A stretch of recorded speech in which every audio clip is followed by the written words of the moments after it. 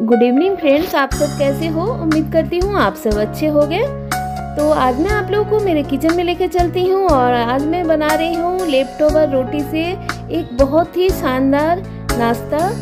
उम्मीद करती हूँ कि आप लोगों को पसंद आएगा। आप लोग जो रेस्टोरेंट में खाते हैं मेक्सिकन डिश टाकोस ये बनाई हूँ मैं लेफ़्ट ओवर रोटी से। तो चलिए बनाना स्टार्ट करती हूँ। तो देखिए, ये बहुत ही अच्छा बहुत ही टेस्टी बनता है। आप लोग इस रेसिपी को एक बार ट्राई ज़रूर कीजिएगा। तो चलिए, मैं बनाना स्टार्ट करती हूँ। तो इसके लिए मुझे कुछ सामान लगेगा। तो सबसे पहले मुझे रोटी लगेगा। तो देखिए, आज मेरे घर में बहुत सारा रोटी बच गया था।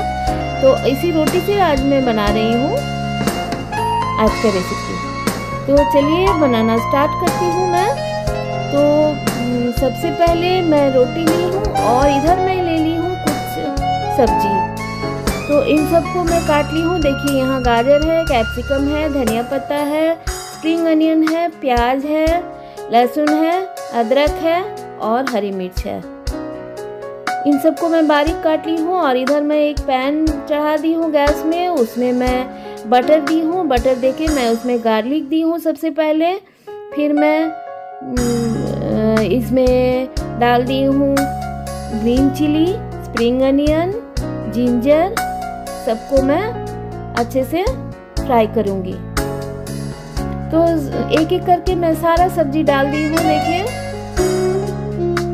आपके घर में जितना भी सब्ज़ी है, आप वो डाल सकते हैं। मेरे घर में जो था, मैं वो डाली हूँ। तो गाजर कैप्सिकम सारा कुछ मैं इसमें डाली हूँ। तो इन सबको मुझे हाई फ्लेम पे पकाना है।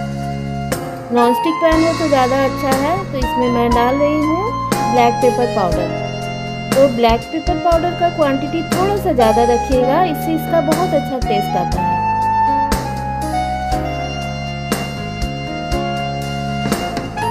सब्ज़ी को मुझे हाई फ्लेम पे इसलिए पकाना है, क्योंकि मुझे सब्ज़ी का क्रंचीनेस बरकरार रखना है। इसमें मैं कुछ हर्ब्स डाल रही हूँ। देखिए, मैं ऑरिगानो डाली हूँ इसमें। और मैं डाली हूँ नमक। थोड़ा सा सोया सॉस ये सब डाल के मैं हाई फ्लेम पे इसको खूब अच्छे से पकाऊँगी।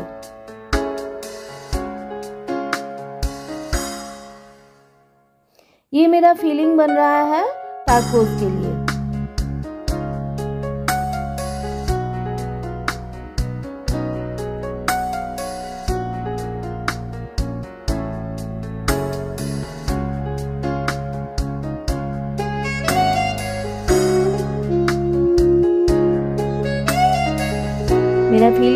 चुका है, अब मैं बताती हूँ कि मैं इसको कैसे बनाई हूँ। तो देखिए, रोटी मैं ले ली हूँ और रोटी में मैं लेयर बाय लेयर कैसे इसको बनाती हूँ, वो मैं आप लोगों को दिखाती हूँ। तो सबसे पहले एक रोटी ली हूँ, उसके ऊपर मैं डाली हूँ मेयोनीज एक चम्मच।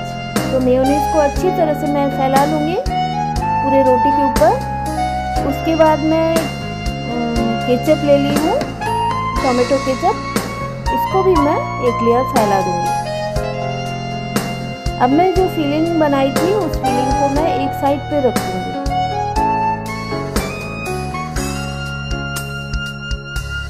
इस तरह से एक साइड पे इसको रखना है। इसमें आप पनीर भी डाल सकते हैं। तो आज मेरे घर पनीर नहीं था तो मैं आज पनीर नहीं डाली हूँ इसमें।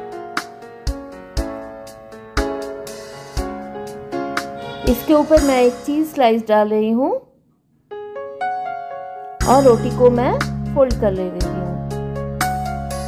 इसको हाथों की मदद से, दोनों हाथों की मदद से खूब अच्छे से दबा के सेट कर लेना है। इस तरह से मैं सारा रोटी में फिलिंग भर लूँगी।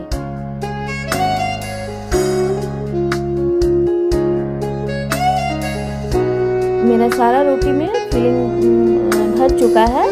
अब मैं पैन ली हूँ और पैन में मैं थोड़ा सा बटर डाली हूँ। तो देखिए, मैं ग्रिल पैन ली हूँ।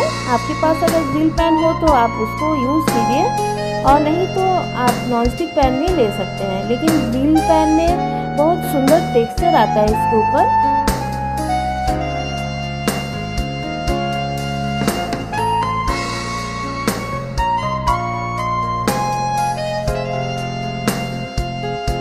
तो देखिए बटर मैं पूरे पैन में फैला ले रही हूँ और उसके बाद मैं रोटी को इसके ऊपर रख दे रही हूँ।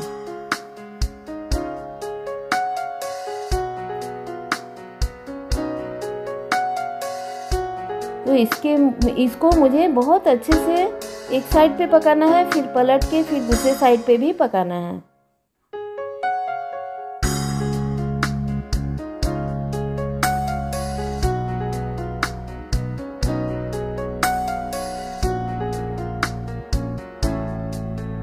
मैं थोड़ा सा बटर और दे दूँगी।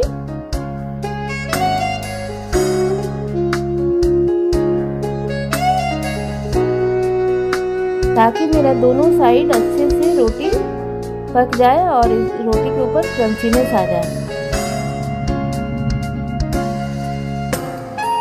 आँच को बिल्कुल धीमा रखिएगा। और धीमे आँच पे धीरे धीरे इसको फ्राई करना है।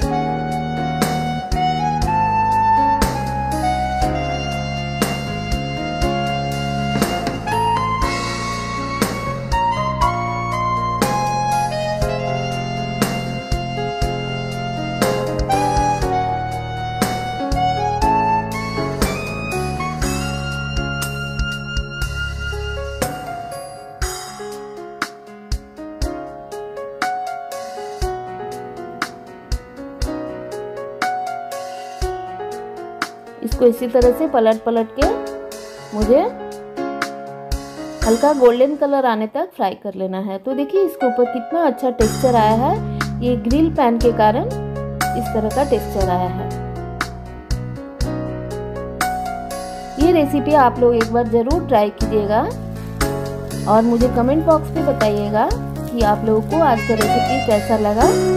उम्मीद करती हूँ आप लोगों को आज का रेसिपी बहुत ही पसंद आएगा। अगर मेरा रेसिपी आप लोगों को पसंद आ रहा है तो प्लीज़ मेरे चैनल को सब्सक्राइब कर लीजिए बेल आइकन को भी दबा दीजिए ताकि मेरा नेक्स्ट वीडियो जब भी आए तो आप लोगों के पास नोटिफिकेशन पहुँच जाए।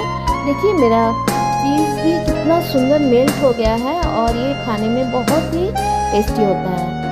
तो चलिए, इस रेसिपी को आप लोग एक बार ट्राई कीजिए और इसी तरह मेरे चैनल पे बरकरार रहिए ताकि मैं और भी अच्छा अच्छा वीडियो आप लोगों के पास लाती रहूँ।